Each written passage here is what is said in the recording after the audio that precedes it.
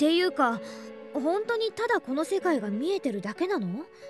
そもそもユキコが最初に例のテレビに映ったのいなくなる前だよ。おかしくない？大体あのユキコが逆なんとかってありえないっつの。逆なん？俺もびっくりしたぜ。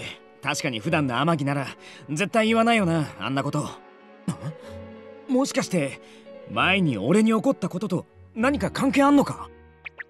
まだいろいろとわからないけど君たちの話を聞く限りだとその番組ってのその子自身に原因があって生み出されてるって気がするクマユキコ自身があの映像を生み出してる？なあもうどういうこと？わけわかんない。